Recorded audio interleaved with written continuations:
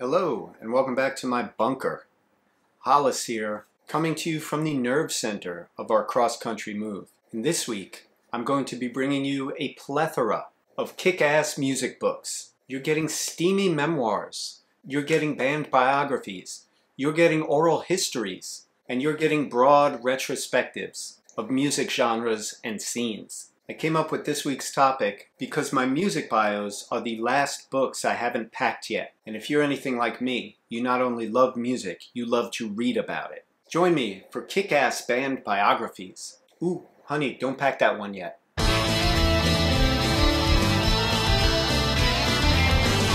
Before we get rolling, I just want to give a shout out to my newest patron. Thank you, Mark. I'm eternally grateful for your help, Mr. Fiorentino, and I look forward to getting to know you in my DMs. If you're enjoying the content that I'm bringing you from week to week and would like to help support the show, please consider joining my Patreon. It's at patreon.com forward slash popculturegraveyard. And thanks. Okay, I'm going to start off with some of my all-time favorites that I think will have the widest appeal. It's the opposite of what YouTube wants me to do.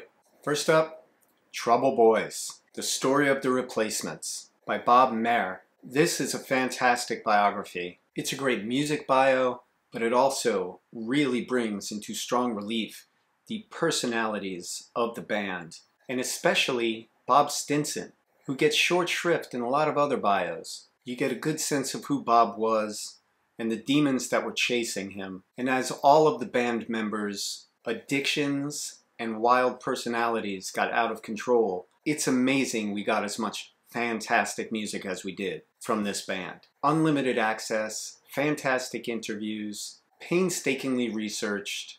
This is a clinic on how to do an exhaustive, definitive history of a band. Up next, The Hard Stuff, Wayne Kramer. Dope, Crime, the MC5, and My Life of Impossibilities. Wayne Kramer is still with us, still kicking ass.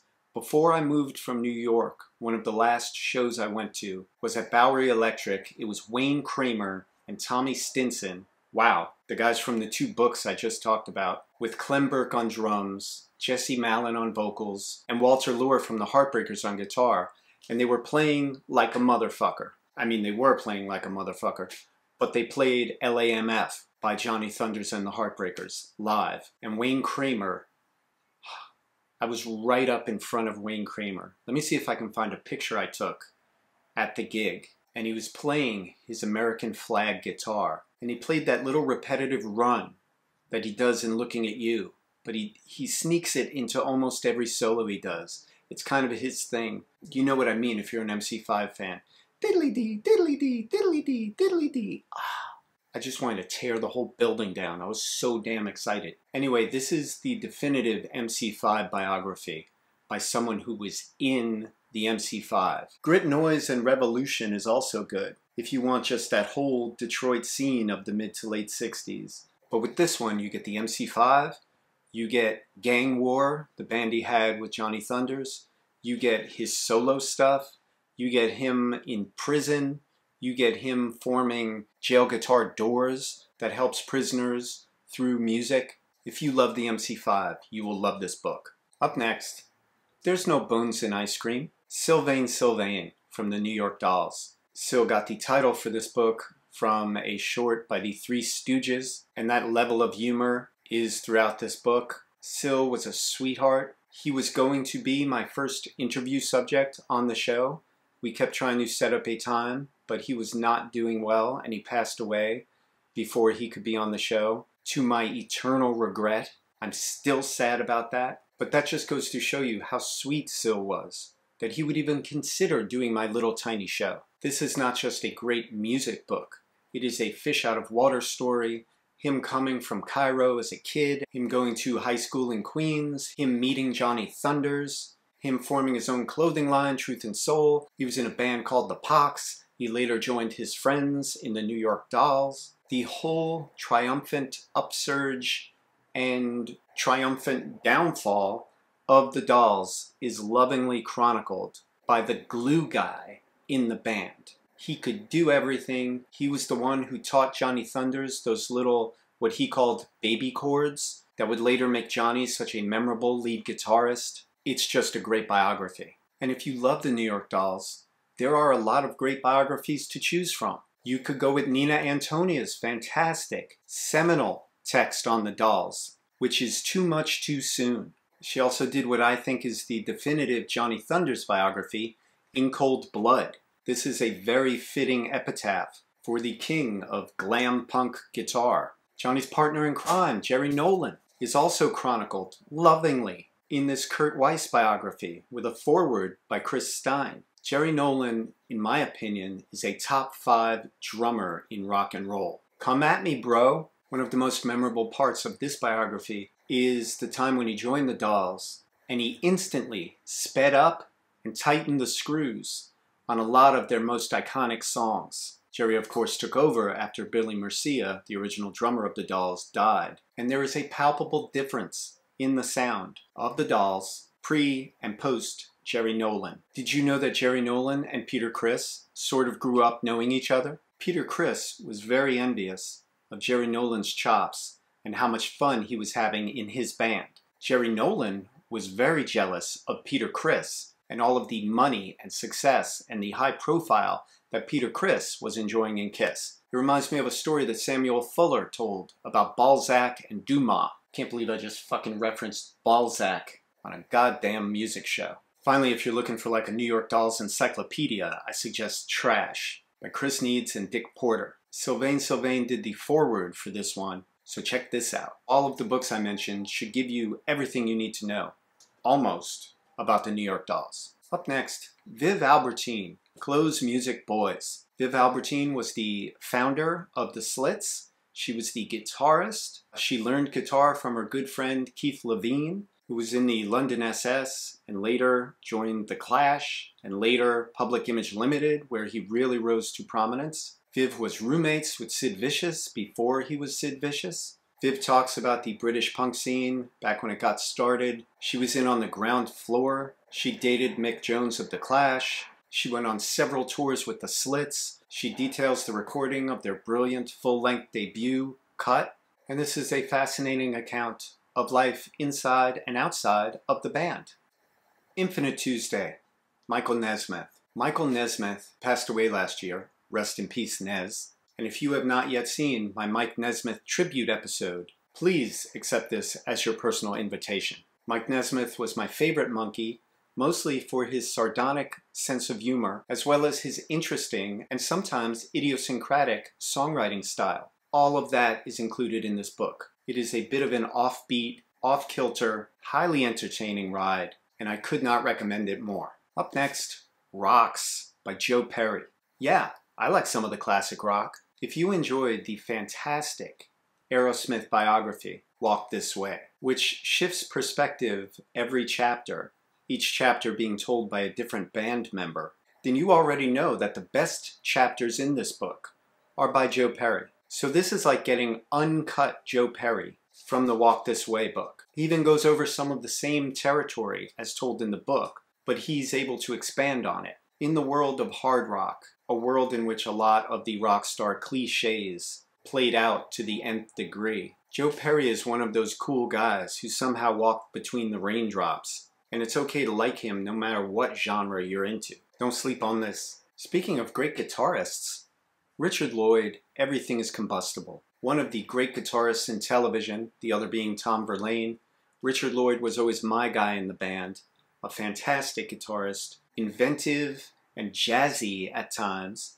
He would switch off seamlessly between rhythm and lead with Tom Verlaine, and some of my favorite solos on the masterpiece Marquee Moon are by Richard. Richard gives great remembrances on that original New York punk scene that centered around CBGBs. Things like Seymour Stein from Sire Records walking around with blank contracts in his pocket, inducing bands to sign because he was taking off tomorrow to go to England and he didn't know if he'd still want to sign the band next week. Sire Records, one of the greatest record companies, by the way. But it just goes to show you that Richard was everywhere and he had his eyes on everything from the original television through his own solo work, and then later to working with the great Matthew Sweet, who is a very underrated artist and created some wonderful power pop albums. It is all here and waiting for you to enjoy it. From Richard Lloyd, we go to Richard Hell. Richard Lloyd's old band member from the original television, I Dreamed I Was a Very Clean Tramp,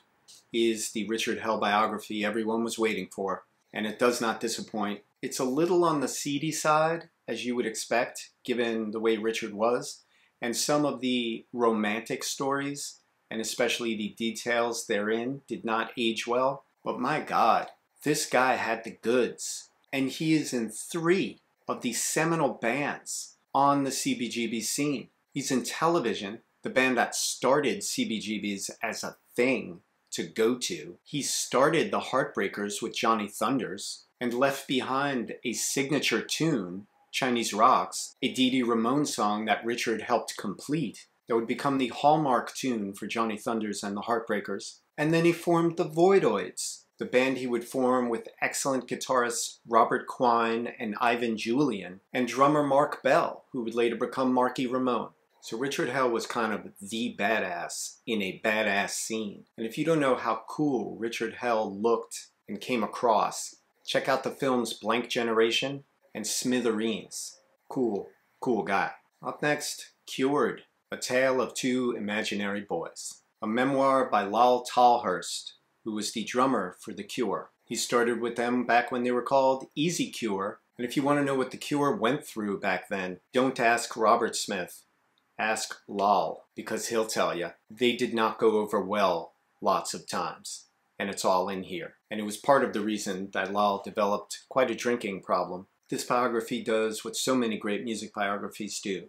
It tells the truth. Lol does not pull back and try and make himself look cool. He gives it to you warts and all. He details the letter that Robert Smith wrote him, kicking him out of The Cure, because the situation with his bandmates became untenable. If you love The Cure's music and you have not read this, what's wrong with you?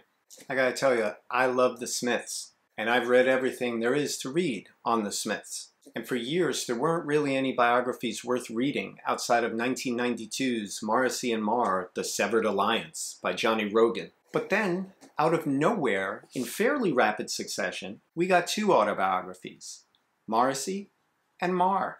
First, I want to talk about Morrissey's. It's a great read. Of course, he is the most literate member of the band, so he's very good at expressing himself. Unfortunately, most of what he expresses are sour grapes. This is a downer of a biography. Shocker!